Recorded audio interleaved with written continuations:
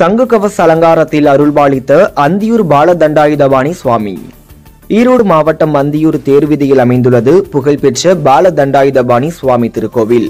பங்குனி உத்தர திருவிழாவை முன்னிட்டு சுவாமிக்கு இளநீர் மஞ்சள் தேநீர் சந்தனம் பன்னீர் உள்ளிட்ட பொருட்களால் அபிஷேகங்கள் செய்யப்பட்டது. பின்னர் பாலதண்டாயுதபாணி சுவாமிக்கு தங்க கவச அலங்காரம் செய்யப்பட்டு தீபாராதனை காண்பிக்கப்பட்டு பக்தர்களுக்கு அருள் பிரசாதம் வழங்கப்பட்டது. இவ்விழாவில் அந்தியூர் சுற்றுவட்டார பகுதிகளில் இருந்து நூற்றுக்கணக்கான பக்தர்கள் பங்கேற்று பாலதண்டாயுதபாணி சுவாமியை வழிபாடு செய்தனர். ஏயுடி நியூஸ் செய்திகளுக்காக அந்தியூர் செய்தியாளர் சதாசிவன்